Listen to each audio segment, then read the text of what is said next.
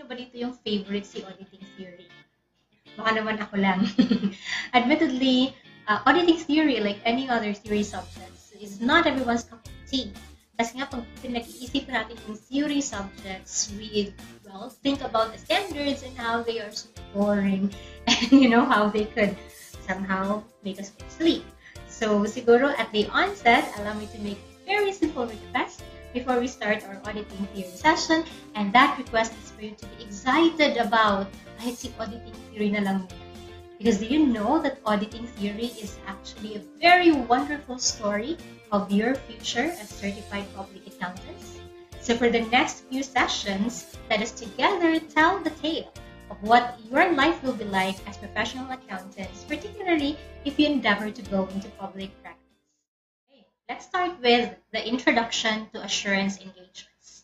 Whenever we introduce the assurance engagements, kailangan nating mag-refer dun sa tinatawag nating Philippine Framework for Assurance Engagements. Now, ano bang ibig sabihin ng framework? So, pag sinabi natin framework, it's a supporting structure. Okay? So, siguro, you would remember another framework that you have encountered, yung conceptual framework for financial accounting and reporting. So, ito naman is the Philippine Framework for Assurance Engagements. So, kumbaga, ito yung foundation, ito yung supporting structure. So, whatever standards will be made and adopted for assurance engagements. So let us start this discussion by taking a look at question number one of our handout. Okay, question number one would actually let us or is actually asking us to determine if the statements are correct or incorrect. So starting with statement one, Philippine Standards on Assurance Engagements describes and defines the elements and objectives of an assurance engagement. Statement 2 says the Philippine Framework for Assurance Engagements provide contain basic principles, essential procedures, and related guidance consistent with the concepts in the framework for the performance of assurance engagements.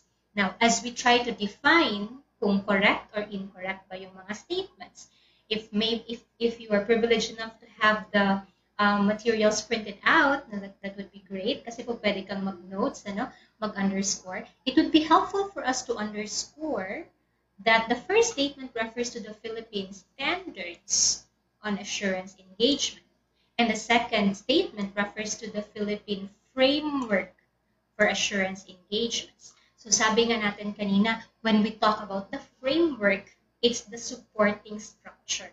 So if we take a look at statement 2, sinabi dito, it already contains the basic principles, the essential procedures, and the related guidance. In other words, the statement 2 already talks about the details.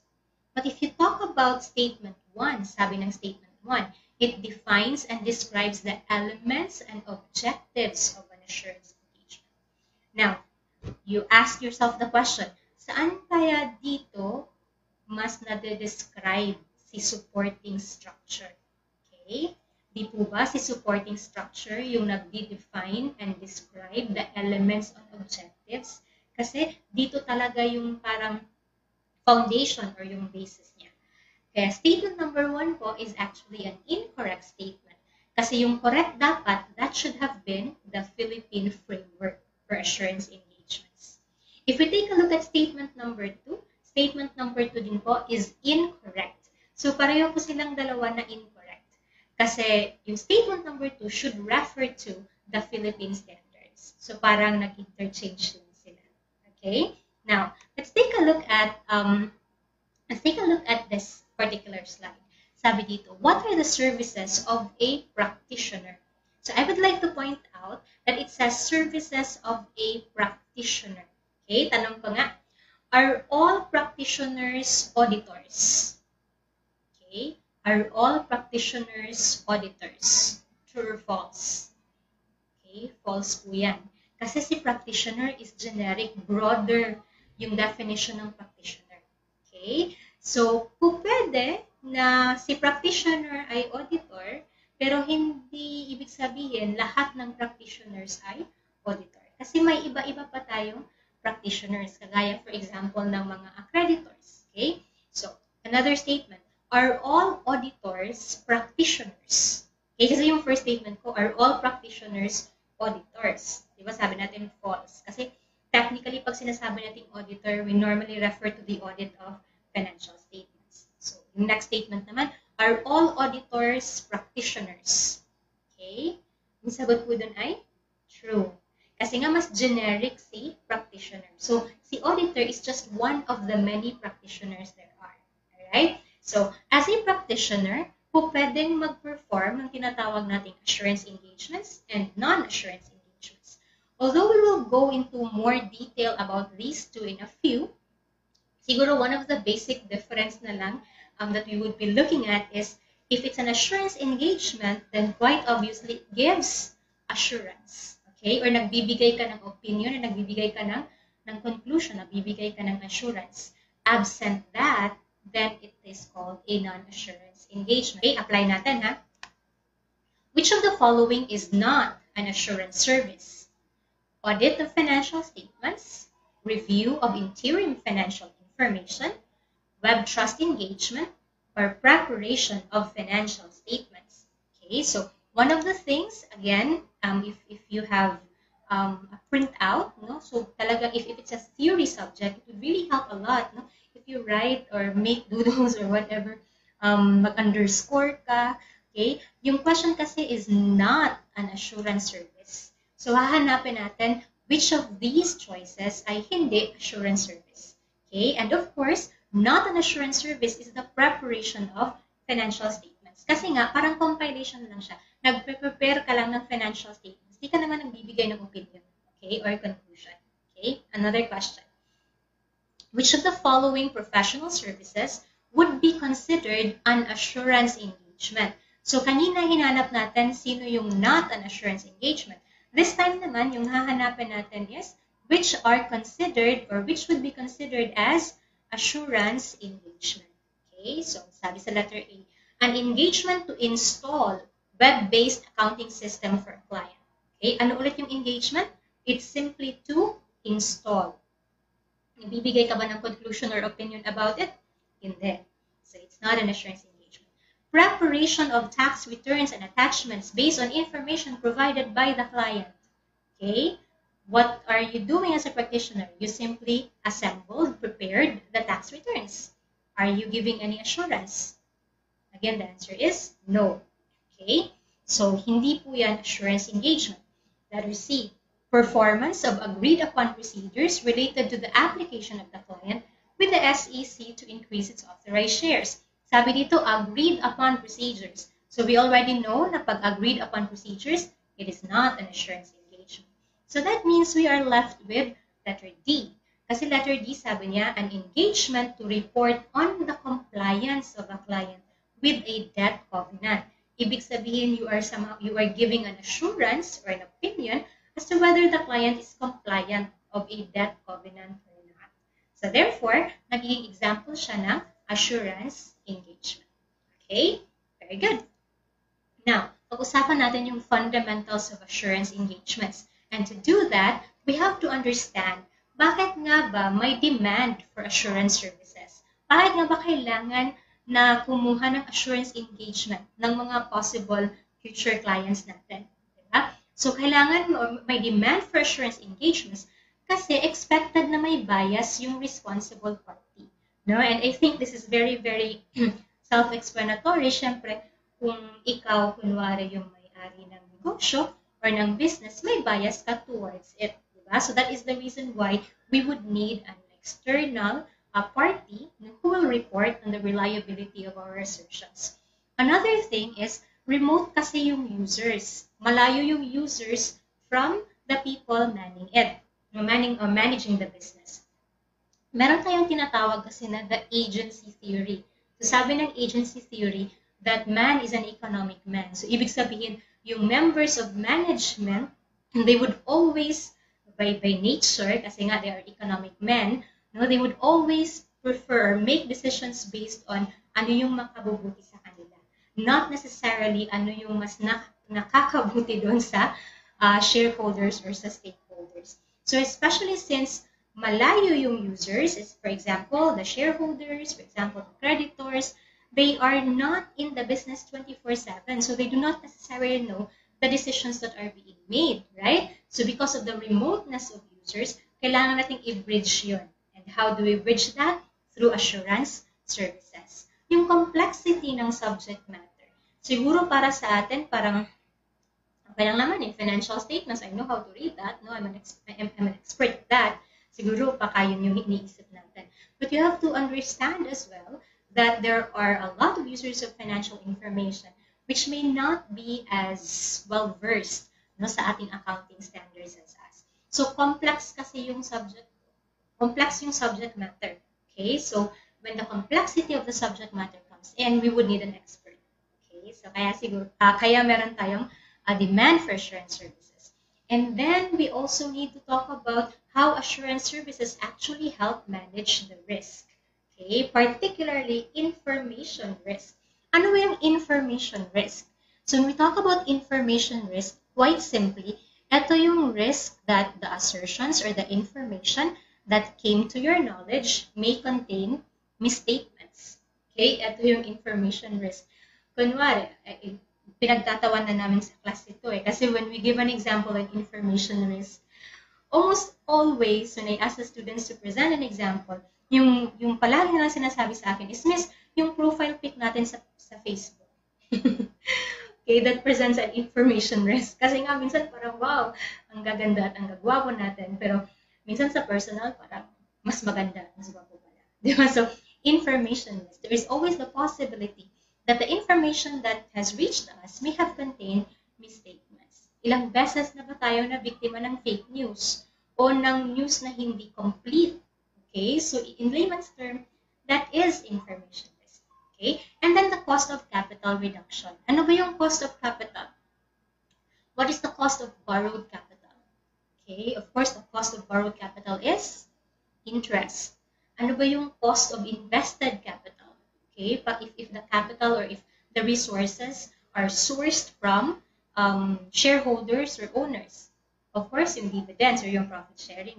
So when assurance services come in, because they some they, they lower the risk, Okay, so the cost of capital is also reduced. Now, which of the following statements does not describe a condition that creates a demand for auditing? Okay, kasi auditing is an assurance engagement. Letter A, conflict between the information preparer and the user can result in biased information. Okay. Letter B, information can have substantial sorry, economic consequences for a decision maker. Letter C, expertise is often required for information preparation and verification. And letter D, users can directly assess the quality of information. So take note, yung hinahanap natin does not describe a condition that creates a demand for auditing. And I think you are able to spot the obvious answer. The obvious answer is delta. Kasi if the users themselves can directly assess or measure the quality of information, ba't ka pa magpapa-audit, di ba? So, the reason that we need the financial statements to be audited, kasi nga, remote yung users. Malayo sila from the financial information.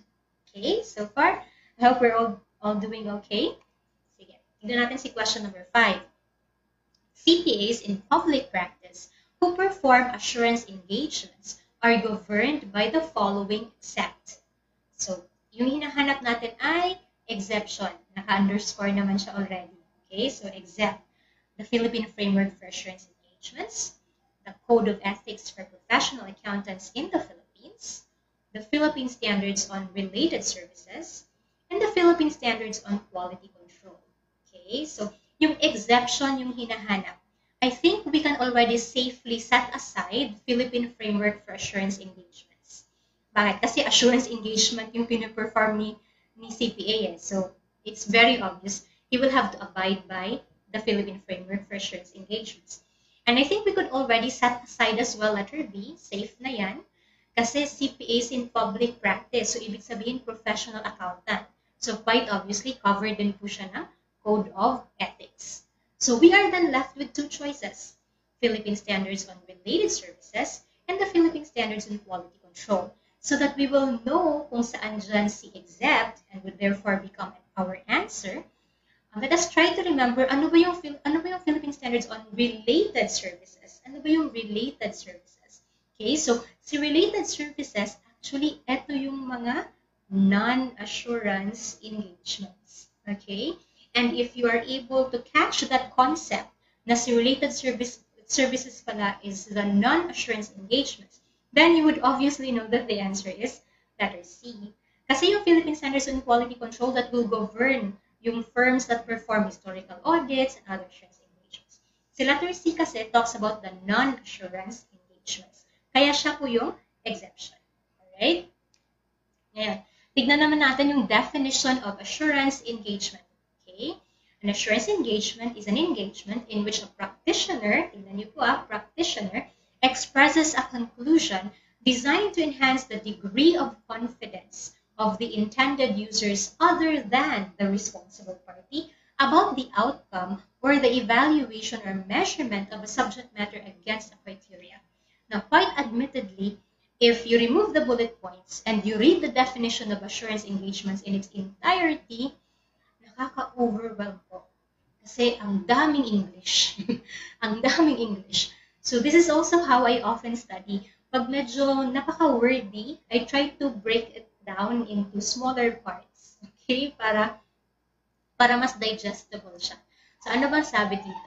An assurance engagement is an engagement in which a practitioner expresses a conclusion. Napaka-important.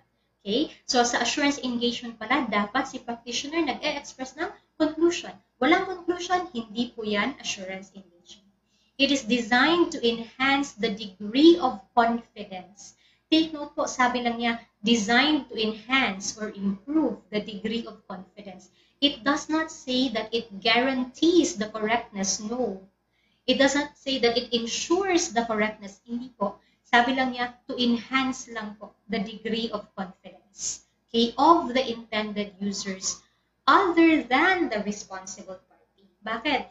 Bakit sinabi niyan sa, sa definition? Kasi si responsible party, pwede po siyang ma-intended user. Di po ba? Si management also makes use of the assurance report or, or the financial information. Kaya lang, it's very important to uphold the element of assurance engagement.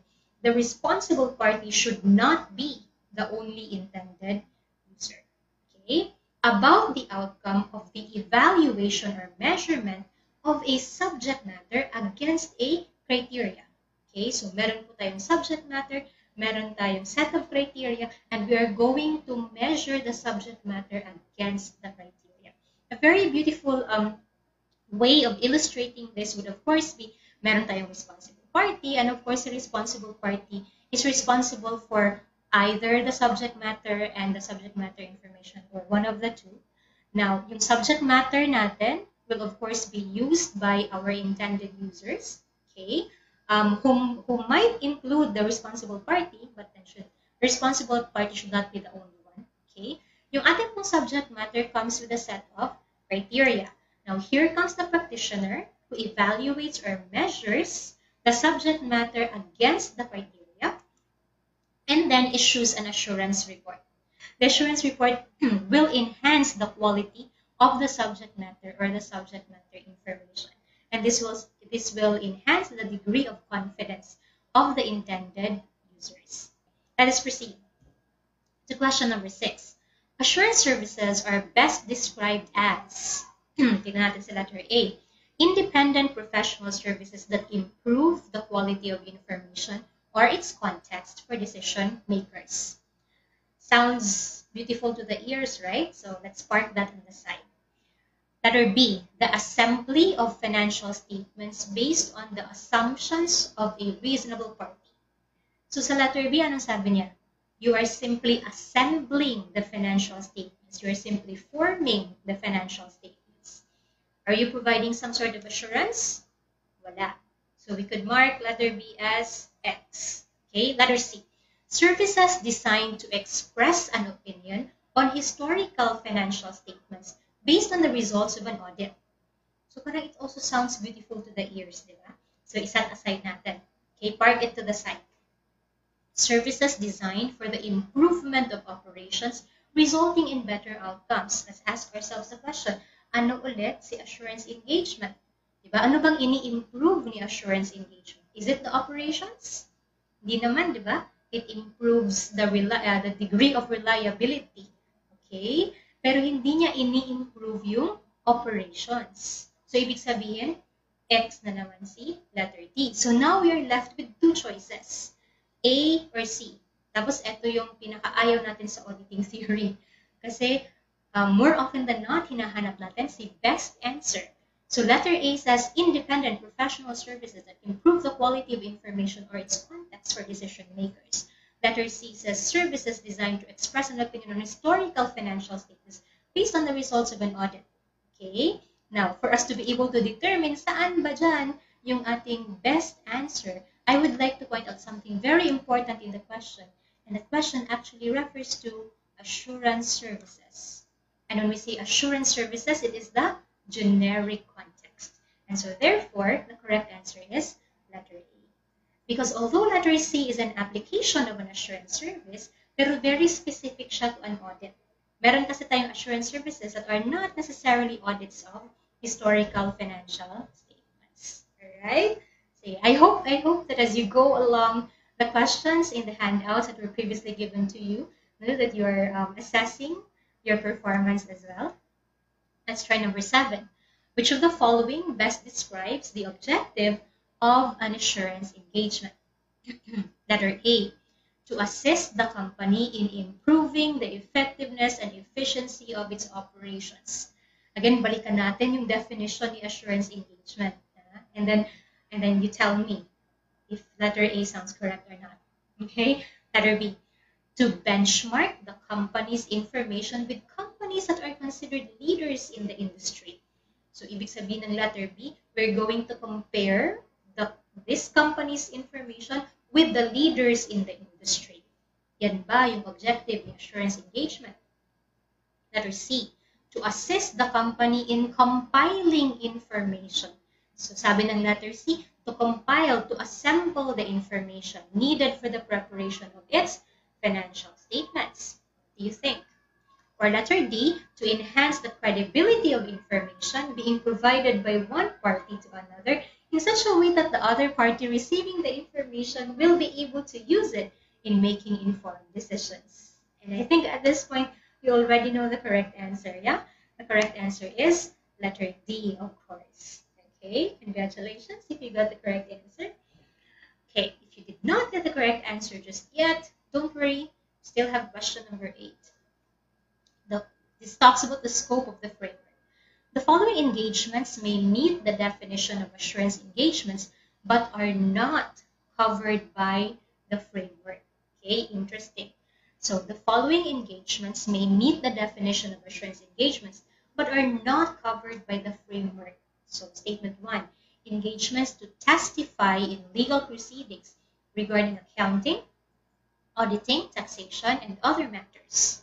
Statement two, engagements that include professional opinions, views, or wording from which a user may derive some assurance but those opinions, views, or wordings are incidental only to, to the overall engagement.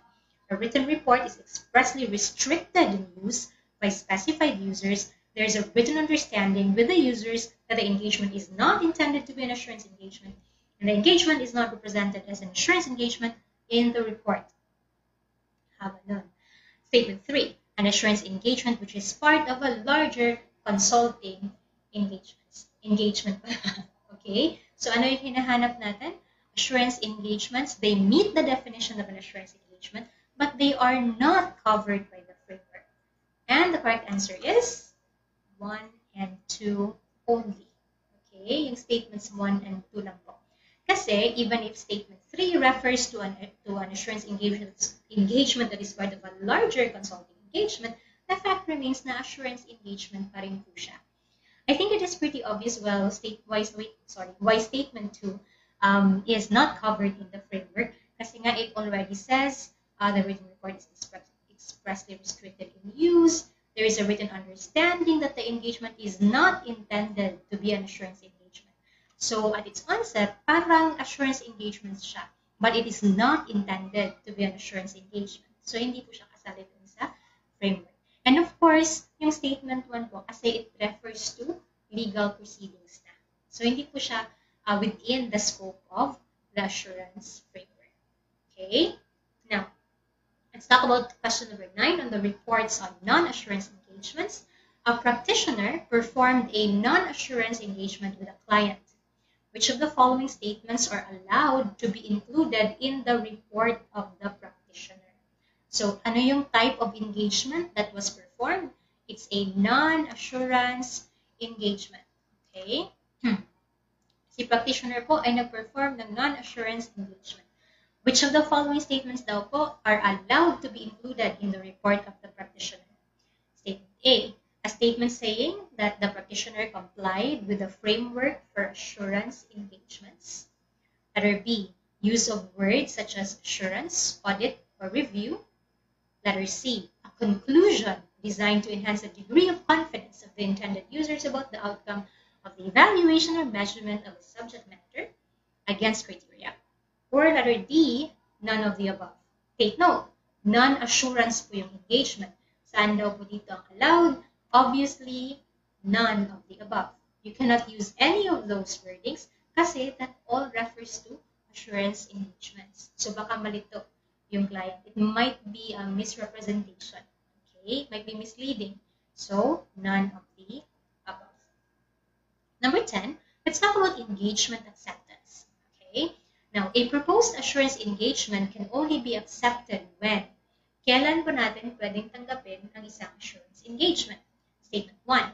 The CPA's preliminary knowledge about the engagement circumstances indicates that relevant ethical requirements will be satisfied. Statement 2. The subject matter of the engagement is appropriate the criteria to be used are suitable and available to intended users, the practitioner has access to sufficient appropriate evidence to support the conclusion, and the conclusion is to be contained in a written report. And state 3, there is a rational purpose for the engagement. So, kailan ba pwedeng tanggapin ang assurance engagement? Ang sagot po, 1, 2, and 3. When those conditions are met, then go ahead, tanggapin nyo na po yung engagement. Okay? Now, next up, we will be talking about the elements of an assurance engagement. But before we do so, I'm going to momentarily end this video po muna kasi as I promised, shorter videos of no more than 30 minutes each para hindi po kayo masyadong bored. I hope um, you're excited to jump into the next video. Again, for the next video, we're going to start talking about the elements of an engagement.